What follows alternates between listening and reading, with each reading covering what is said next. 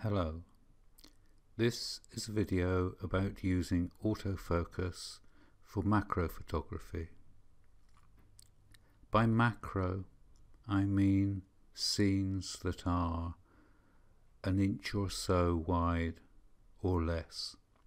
I think of scenes that are greater than an inch or so as being close-ups and here I'm going to talk about smaller scenes, macros. Now I spend time on the macro and close-up forums on a couple of sites and I quite often see comments the effect of you can't use autofocus for macro photography. I find this interesting because I use autofocus almost all the time for my close-ups and macros. For example, all the images that are showing at the moment were captured using autofocus. And this includes subjects that are moving around quite fast, like this one was.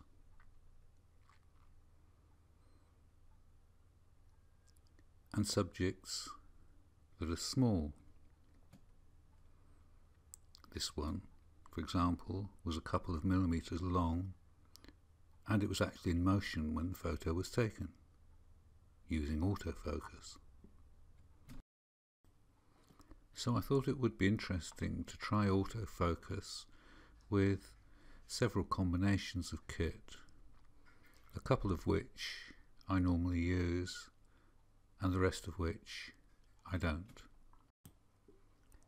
The idea being to see which combinations work, for me at least, and which ones don't. I'm going to start with the camera that I have used most in the past year when photographing invertebrates, insects, spiders and so on. And that is an FZ330 bridge camera used with close-up lenses like the Raynox 150 and Raynox 250. I normally use flash for this sort of photography, but in order to simplify making this video so I don't have to keep moving the flash around from one camera to another, I'm using natural light for this exercise. So here we have the Raynox 150 on the FZ330. We'll start with a relatively low magnification.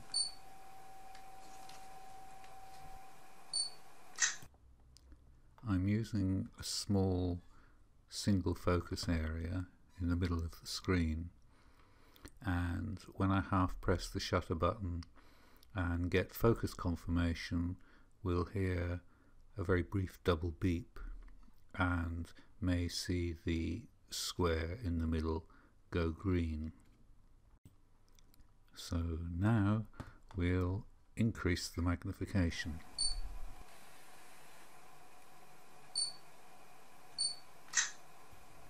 And now go to maximum magnification.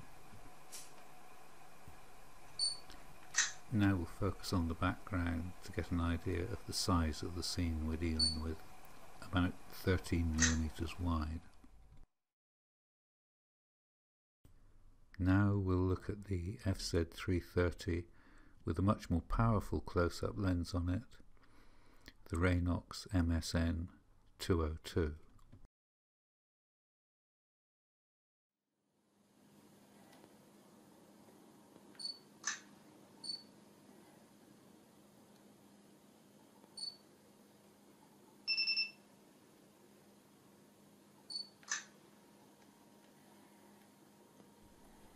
Now, as the magnification goes up, things start to get difficult.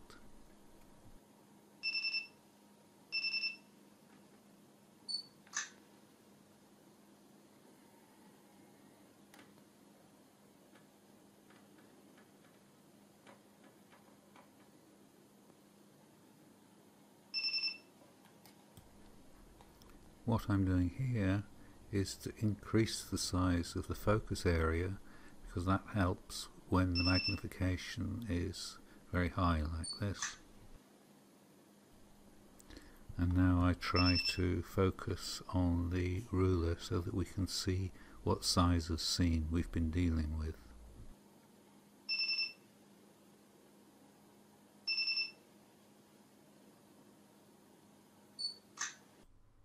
And the scene is about 3 millimeters wide.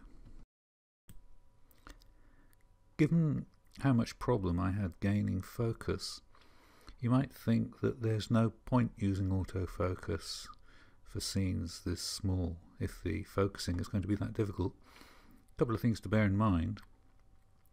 I was holding the camera at an extremely awkward angle so that uh, the camera behind could see the LCD screen. Uh, so my hands were sitting very unnaturally on the camera. The table it was on was wobbling and I had the um, the camera on top of a little pile of uh, slate coasters, uh, and it was wobbling on top of the pile as well, which is one of the reasons everything was moving around so much on the LCD.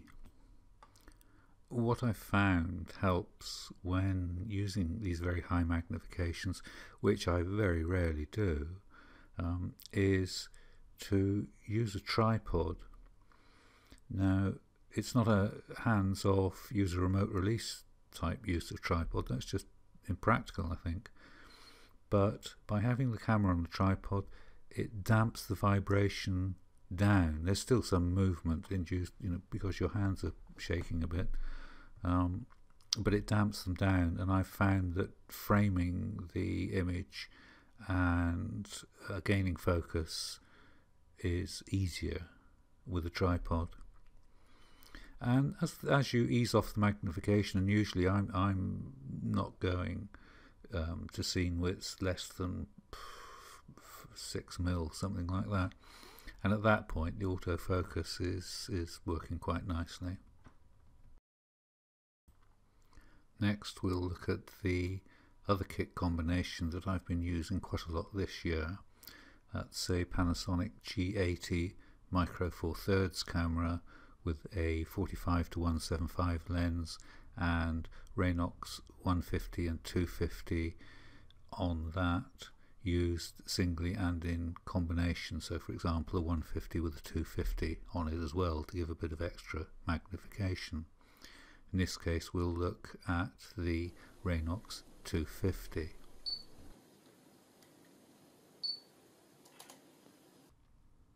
One thing to notice here is that, unlike with all the other kit combinations, when I change the magnification, I don't move the camera.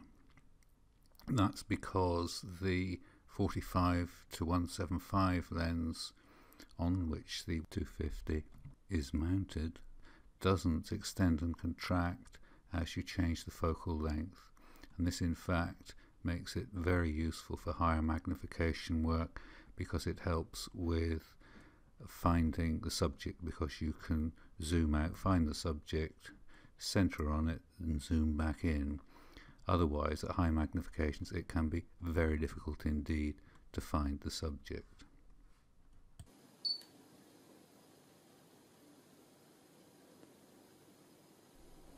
Focus on the eye and recompose.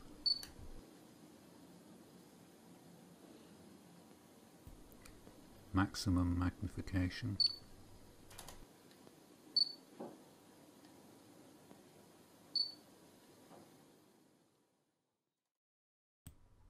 Scene width around 12 millimeters.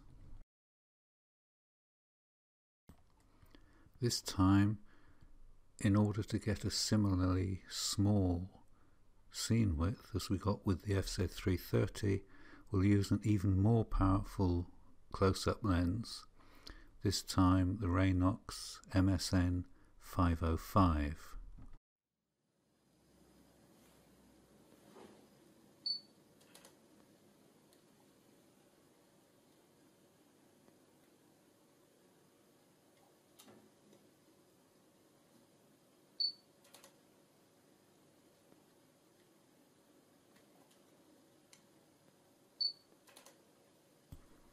That went better and easier than with the FZ330 and tends to confirm a feeling I've had for some time that the uh, G5 and G80 are actually better at the very small scenes than the FZ330.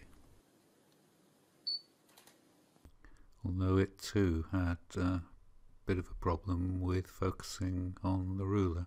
Anyway, it's uh, about 3mm scene width uh, as we had with the FZ330. Now let's look at some kit combinations that I have tried in the past but didn't really get on so well with.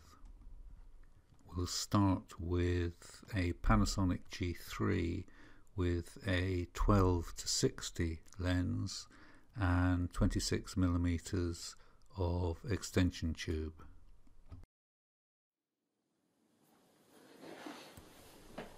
First at 60 millimeters, then around 40 millimeters.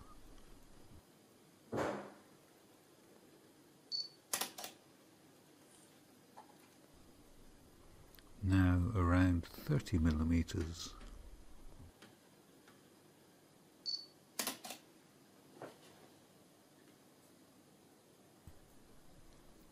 and trying 25 millimeters.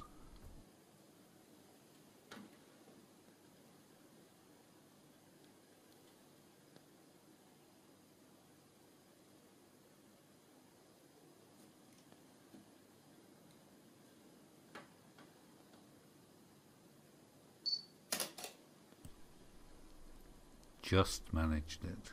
Can't get any closer now.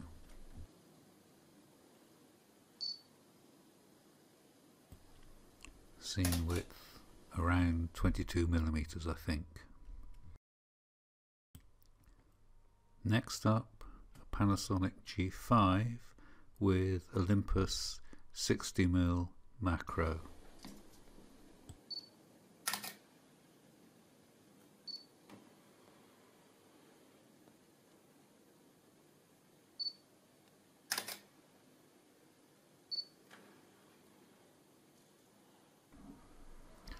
Trying to get it to one to one.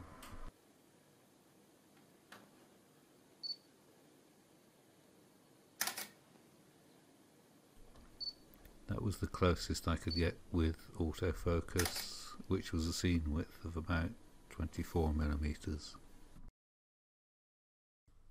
Now I've added 26 millimeters of extension tube to the 60 mm macro.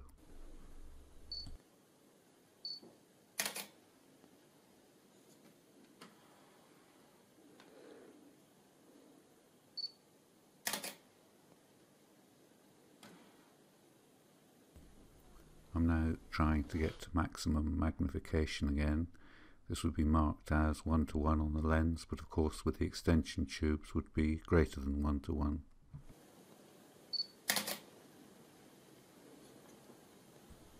I now want to focus on the ruler so that we can get an idea of the scene width. But the fly seems to get much smaller when I focus on the background, which makes me wonder exactly how reliable these um, estimates of scene widths are, with the ruler being um, a little way away from the front of the subject, which is where I've been focusing. So I think don't take them too seriously, um, but I think they do give a general impression of the sort of sizes that we're dealing with here. Next, a DSLR, a Canon 70D. First we'll see it with a Raynox 150 close-up lens mounted on a 55 to 250 STM telezoom lens. I have to say that there are three versions of the 55 to 250 and I had one of the earlier versions and my close-up lenses didn't work at all well on them. In fact, the 150 worked with difficulty and the 250 hardly worked at all. It's only with the STM version that they work pretty well.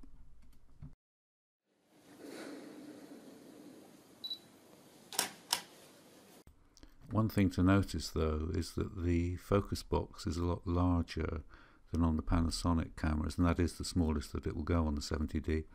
That means that you can't get the same precision in placing the center of focus as you can with the Panasonics.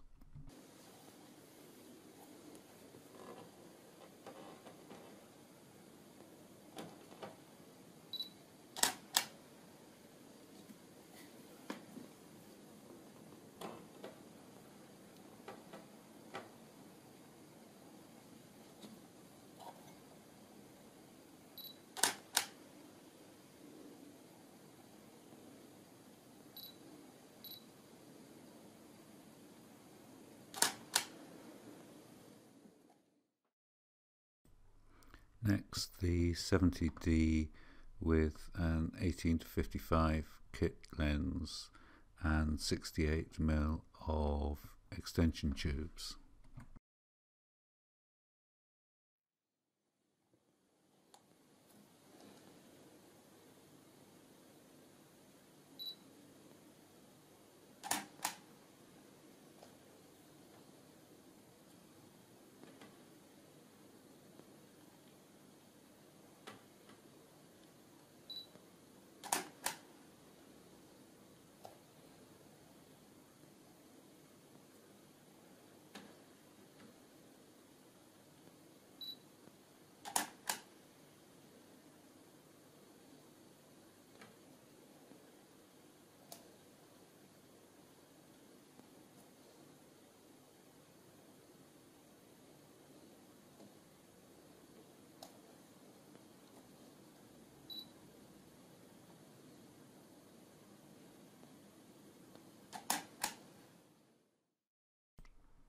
And finally the 70D with a Sigma 105 macro.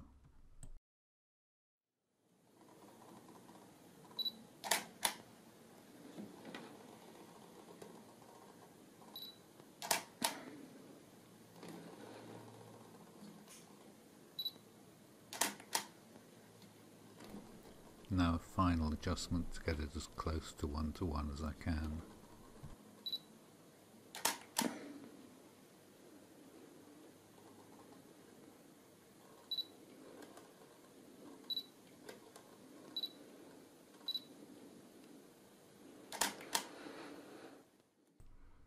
So that completes this little experiment with trying to use autofocus with various pieces of kit, albeit with a simple static target.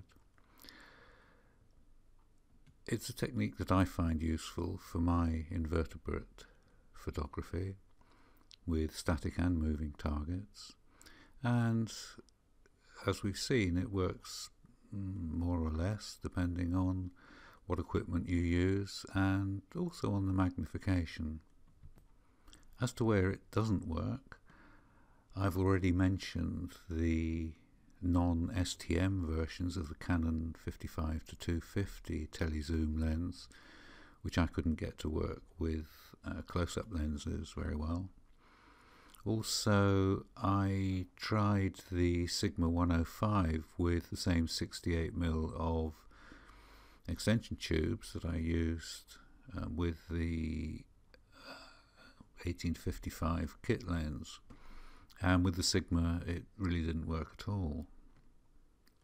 It might work with uh, a lesser length of extension tube. I don't know, I didn't try that. The other thing that I've never been able to get working um, is phase detect focusing when using the optical viewfinder with the 70D. It works okay with the live view, which I think also uses a form of phase detect focusing, the uh, Canon's dual pixel focusing, but uh, I, I can't get it to work with the focusing that you use through the optical viewfinder. So, to wrap this up, I think it's a case of if you've tried it and you know it doesn't work for you, that's fair enough. But if you haven't, you might want to try it. And who knows, you might be pleasantly surprised and have another tool in your photographic kit bag. Anyway, that's all from me for now. Goodbye.